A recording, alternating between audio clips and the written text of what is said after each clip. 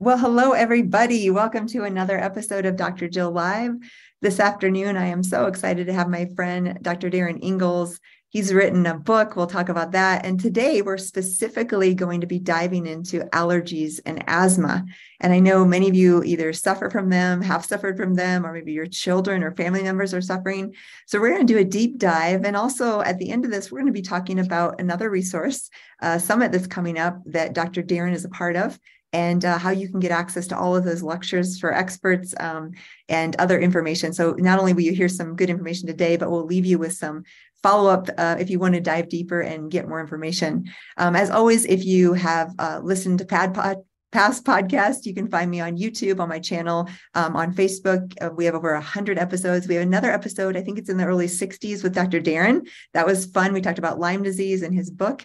Uh, let me introduce my guest and then we'll dive right in so, Dr. Darin Ingels is a licensed naturopathic doctor, author, international speaker, and leading authority on nutritional medicine. He's a former Lyme patient who overcame his three year battle with Lyme disease after having failed conventional treatment and becoming progressively debilitated. Dr. Ingels found the proper diet, lifestyle, and natural therapies working with his body to heal instead of against it. And then he applied what he learned about diet and lifestyle to his own patients and found they recovered faster with less side effects. Love that approach. Um, he's treated thousands of patients. Um, and his book, uh, The Lyme Solution, if you haven't got that, you definitely want to get a copy.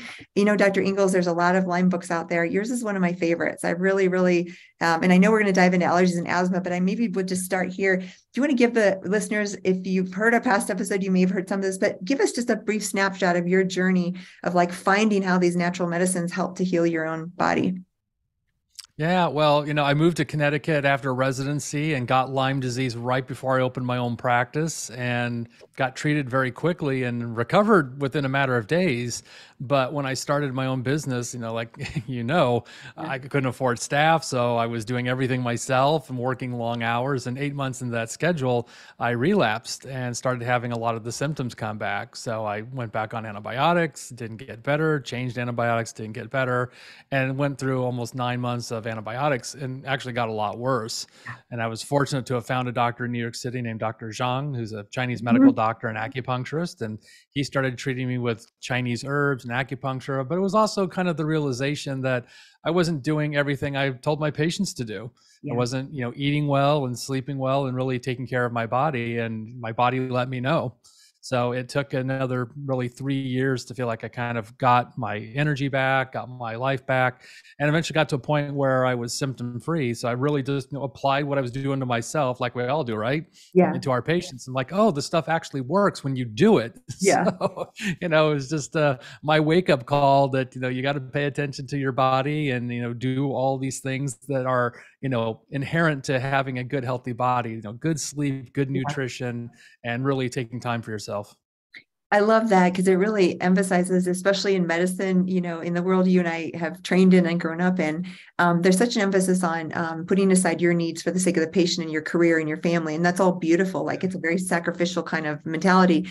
But what I learned too is like, I mean, medical school for me, it was like, how long can you hold your pee and not eat and not sleep, and still survive, right?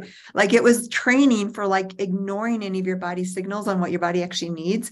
I, I just talked to a recent colleague and friend who has a large podcast, and she was like, I had to relearn to go pee when I needed to pee because I would always be like, I have to hold this. I got things to do. And literally she started getting bladder infections, right? Yeah. So those kind of mentality of like relearning and actually sleep does matter and relationships matter and all those things. Um, so really, really important stuff. And like I said, love your book. We'll be sure and put a link to that as well if you haven't taken a, a look at that. What I also love about your story is antibiotics are perfectly appropriate for some people and i use them in clinical practice but i find like you there's a definite percentage that don't do well and what I love is you've given us alternatives to go down a path of really healing with a much more natural um, alternative. And I find they, the herbs and the remedies can be just as powerful and maybe more sustainable because they're not destroying the microbiome and that. And that's your journey too. So thank you for bringing that information. Well, let's shift because over 50 million people in the US are affected by allergies and asthma. And I want to frame this because I grew up on a farm, one of five children. My youngest brother had such severe asthma. I remember one day in a hotel that probably was moldy, where literally we were calling the ambulance and I didn't know if I was going to see him again. He was probably five or six years old. His asthma was so so bad. He was turning blue and he couldn't breathe. And still today it chokes me up because i'm the older sister and i see my little brother like he can't breathe. And i'm i'm seeing how serious it is. And one thing it led to him in his life was a deep faith because he prayed and he kind of felt like that was a piece of like not that that fixed him but it was the piece that like gave him a stronger sense of purpose and like felt he felt peace in the midst of not being able to breathe. And then for me i grew up with horrendous allergies um, I had eczema where I'd bleed on the sheets at night. My skin was so itchy and excoriated. And I, for like during harvest season, September through March, I had to stay inside. It also created part of my love for books because I couldn't be outside on the farm. It was corn and soybeans in the dust, and I was so allergic. So this topic is so relevant to me personally. Now, at this point, because I've done all the work around it, I don't have allergies anymore. I really don't. But let's go in. I know. Thank goodness. It's amazing. Uh, tell us, though, I mean, this is a big problem. I think it's very relevant. And I think even post COVID, the mast cell stuff, give me a framework of how you're seeing this and how many more people are being affected and how big is the problem? Well, it's an enormous problem and it's getting worse. I mean, that's the sad thing about this. You know, you know, 50 million people I think is probably generous. You know, I mean, my yeah. practice is filled with people dealing with allergy and asthma. And you know, again, I work with a lot of people with Lyme disease and autoimmune disease, but you know, there's this element of of allergy in a lot of people. You know, asthma may be a little bit different, but if you think about what we define as allergy if you think about it, it's more than just hay fever you know that includes a lot of different things. You know i mean allergy can affect of course you know the itchy eyes the runny nose the sneezing but it's the chronic chest congestion it's the chronic eczema it's the chronic gastrointestinal problems and mm. even a lot of neuropsychiatric symptoms can be a sign of allergy. And if you've got a child that's having PANS or if you've got chronic migraines you would never even think that allergy might be part of that yeah, we know there's some people that have a lot of mast cells in their brain, and when they get allergy, they don't get hay fever; they get neurological right. symptoms. So if if we broaden our idea of what allergy really means, because you know in the conventional allergy world, allergists look at a very strict definition of allergy being an IgE mediated reaction. And that's part of it.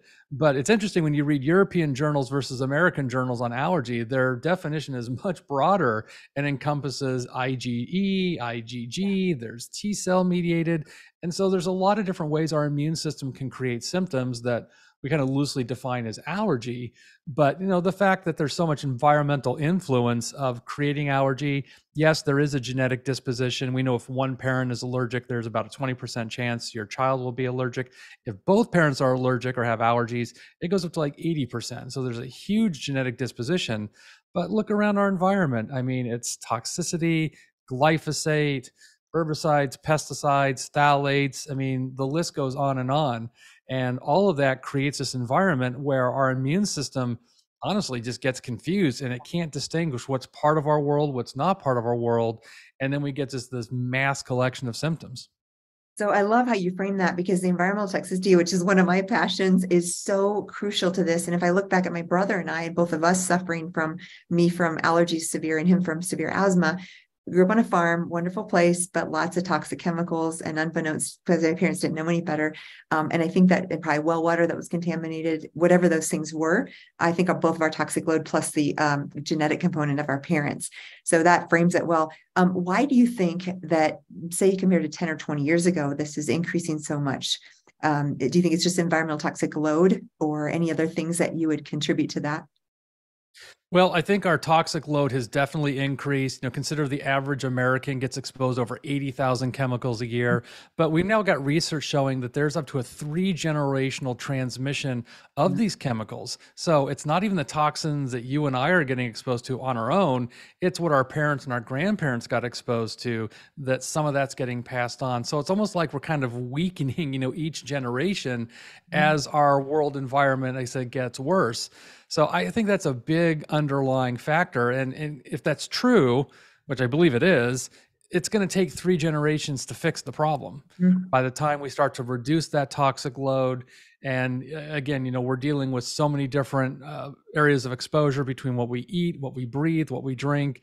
You know, all of that keeps filling up our bucket, and we know when the bucket overflows, that's when we become more symptomatic. So, you know, you and I talk so much with our patients and out there in the public about, you know, control what you can, control your environment. That's the best that you can do. That's clean water, good air filters, make sure your home is a safe haven. That's a really great yeah. low hanging fruit thing you can do to lower that body burden. But at the end of the day, you know, once the immune system gets sensitized, you know, we've now got that disposition that, you know, if you're allergic to mold or pollen or cat dust a dog, you know, those triggers, you know, can set you off and lowering the load definitely helps. But often we've got to find other strategies to recorrect the immune system when it goes awry. So I love it because you're like what I always say clean air, clean water, clean food. Start with the basics that aren't super hard. They're low hanging fruit in your bedroom, in your environment. You want to do whatever you can to contain the allergens there. Make sure you have a good air filtration and, you know, the hypoallergic kinds of sheets and stuff.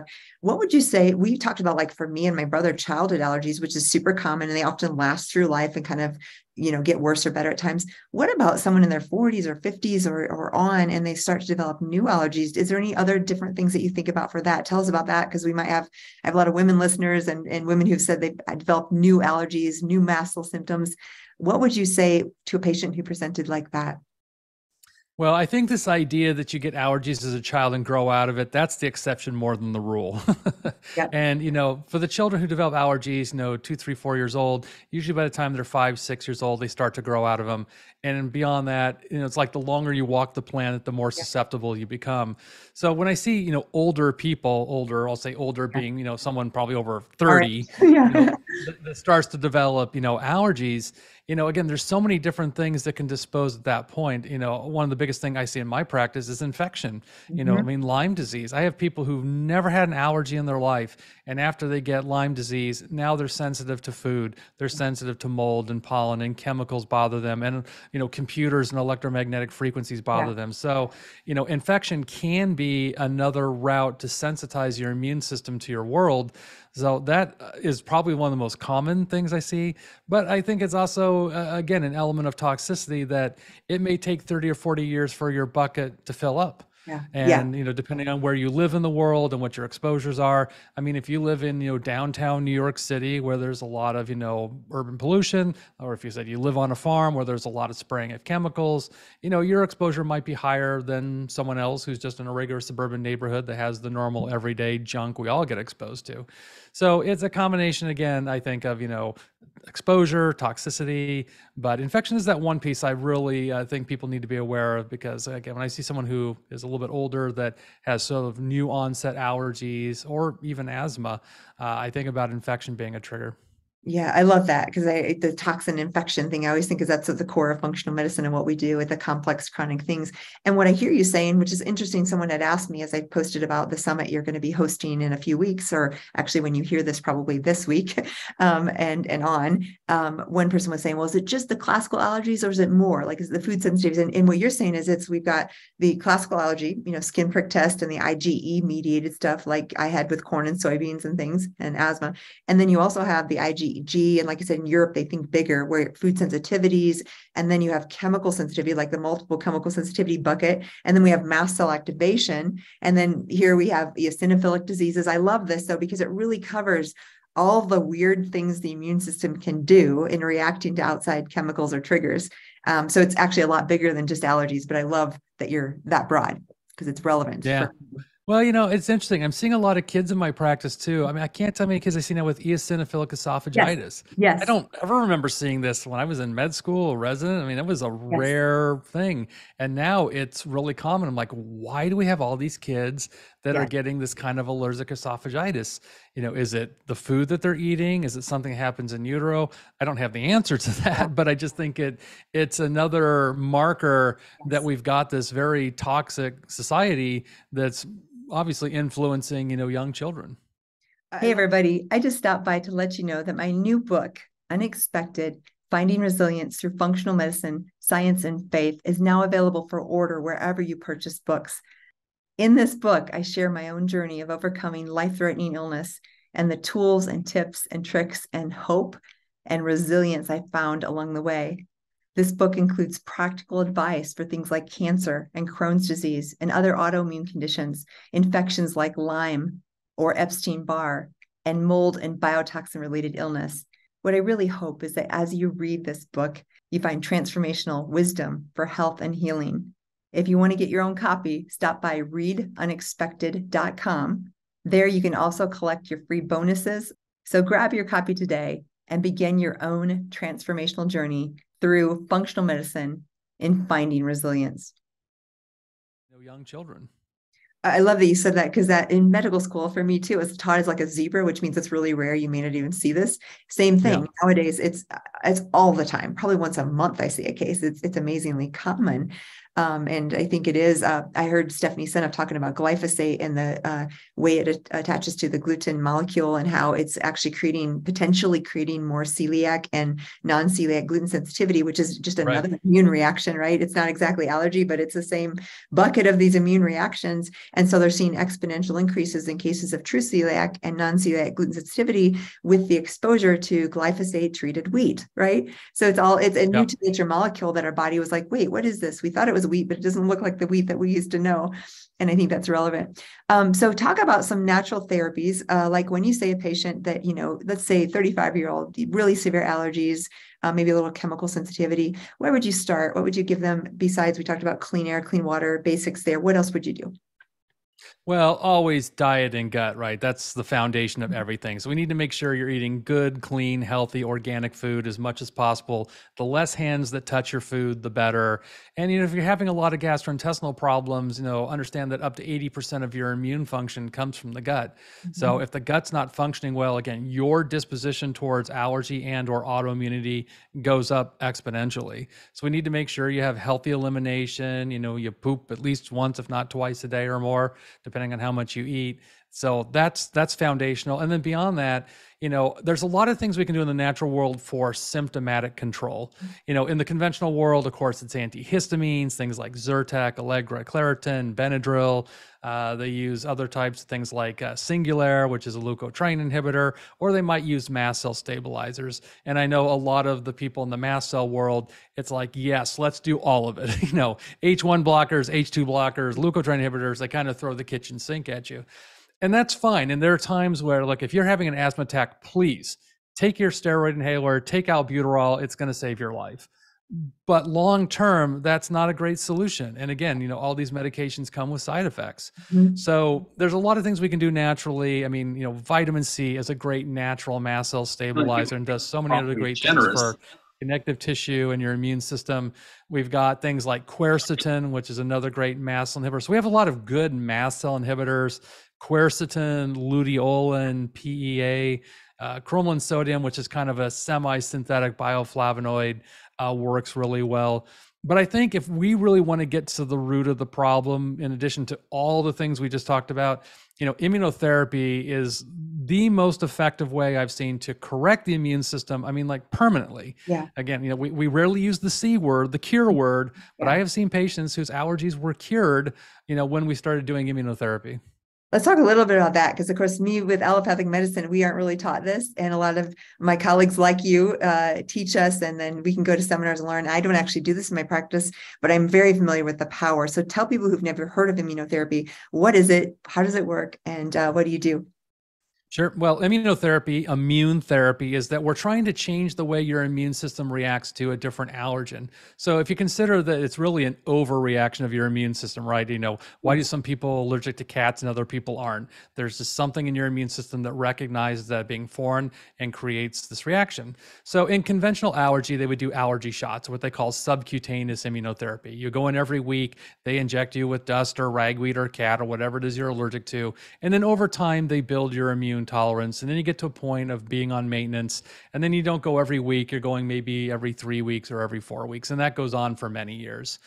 In our world, instead of doing the allergy shots, we can do what's called sublingual immunotherapy. So sublingual means under the tongue. So the concept is exactly the same, is that we're still giving you the thing that bothers you, but instead of going to the allergist every week, these are drops you do at home. You put the drops under the tongue, but it desensitizes you to whatever allergen is in that mix. And so, again, we can test people, find out what you're allergic to, and then we put those allergens in bottles and we mix them based on the different allergy type.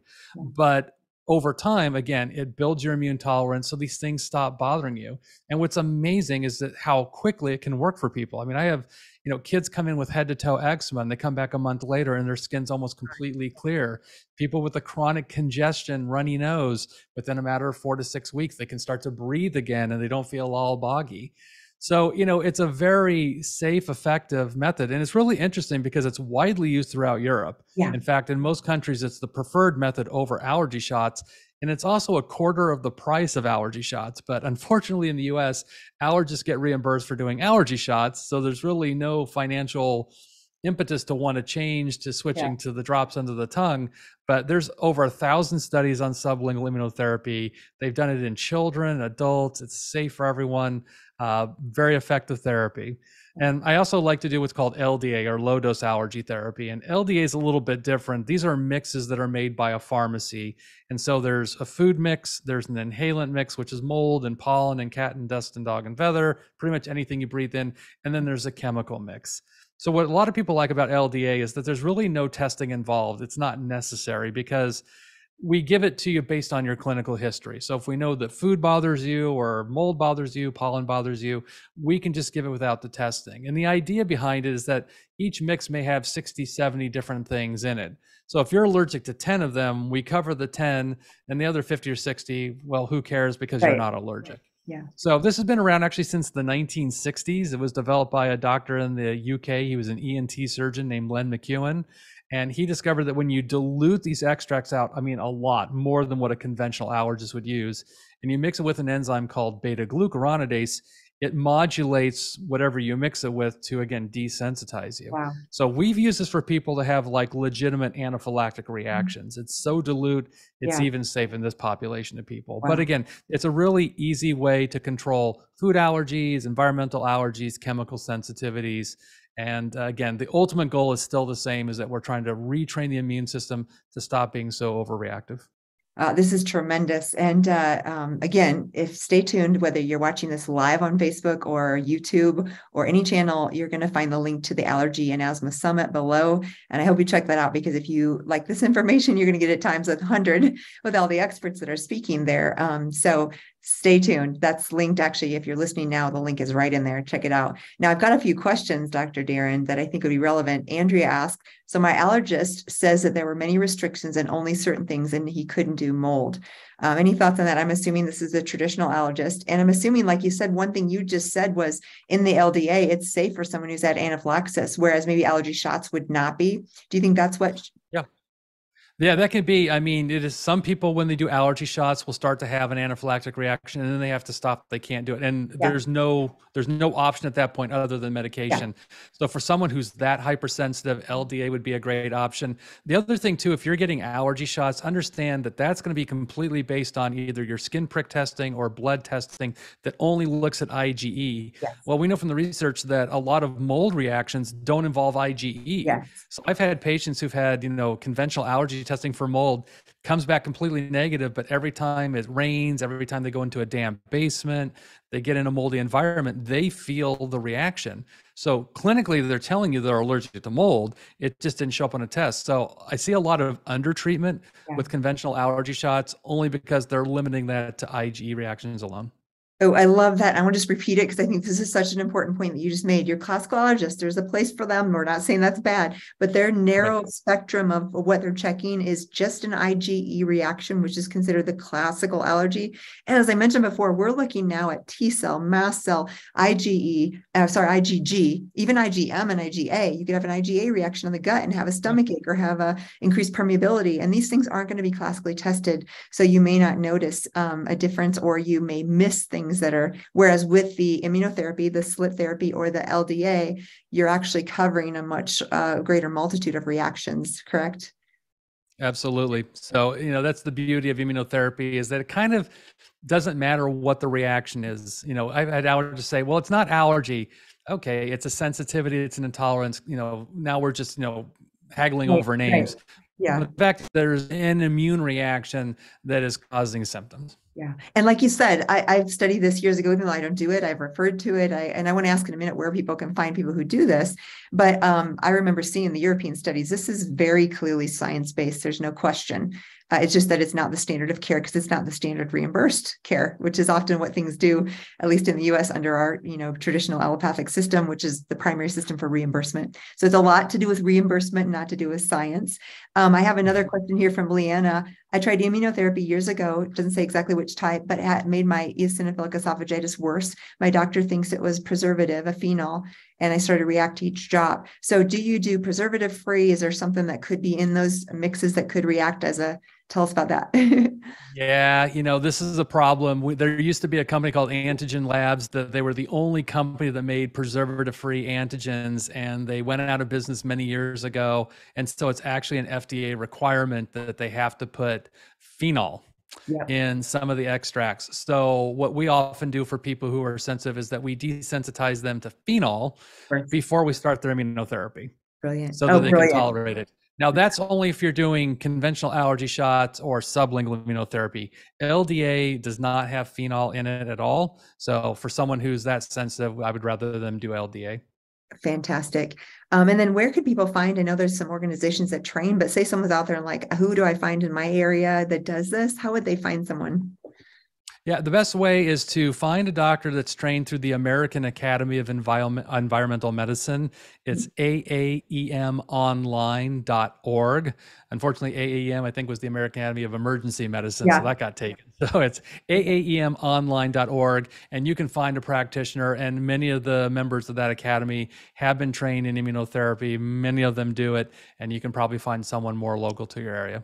Perfect. Although I should say, in the era of COVID, so many of us have been working remotely with patients mm-hmm. that there are ways to work with practitioners uh, remotely. If that's if you can't find someone in your local area, uh, you can definitely reach out uh, to other doctors and see if that's an option. Mm, that's fantastic. And are you taking patients, clients, Dr. Ingels? We still are, yes. Okay, good. So obviously we can send them to you too. And again, wherever you're watching this, links will be below or wherever you're watching this for all the things we're mentioning. So don't worry if you missed it. If you're driving in your car, you can grab that. Um, so obviously I've mentioned the summit. That's one of the reasons why we're here because I really believe in this. And I told you my little personal snippet because I really, really suffered from allergies and asthma and almost saw my brother die from asthma. So it's close to my heart. Um, tell people just a little bit about the summit, what they can expect if they join. And that'll be when you're listening to this, either coming up really soon or live this week. Yeah, so it's an allergies and asthma summit, and it goes from March 13th through March 19th, and it's completely free all you have to do is just sign up and then every day you're going to get access to seven or eight different speakers and we've got speakers experts from all over the world to talk about different aspects of how allergy impacts your health. So we've got everything from regular seasonal allergies. I've spoken with a couple of ENT surgeons. We've talked to people about eczema. Dr. Anna Maria Temple, who's an eczema expert, had a great talk of that. Dr. Elisa Song talked about how allergies affect children. Yeah. And we talked about like the neuropsychiatric effects of allergy, which grossly gets overlooked. So again, we got almost 50 speakers covering the bases on everything allergy and asthma related. And the goal is really to empower you to take stock of your health. And this doesn't mean you just throw your medication out the door and, you know, start taking a bunch of natural stuff, but we want to give people, you know, an understanding that there are options and that there is a way to improve your health. So hopefully you can get off the medication. So, you know, we just want to invite everyone to take part. Again, it's completely free. And we have all these downloadable guides that are absolutely free. We put together our team this great I think it's like an 80 page guide on natural treatments for allergies and asthma. So there's so many great free resources. Uh, we just want people to take advantage of that. And, you know, they'll have the option at the end. If you really enjoyed it, you can buy it. Then you can keep going back to it over and over again. And again, I think people are going to find really a lot of value. So share it with anyone you know dealing with allergies and asthma. And I think uh, people are going to really enjoy it. Uh, Dr. Ingels, as always, it is such a pleasure to talk to you. I love your um, heart and soul for helping people in the world, the fact that you continue to put great information out. Um, and we just put this together real quickly because we're like, I want to get the word out. So thank you for even today making time to talk to us. Um, so appreciate the work that you do. Uh, well, thank you so much, Jill, for having me. You're welcome.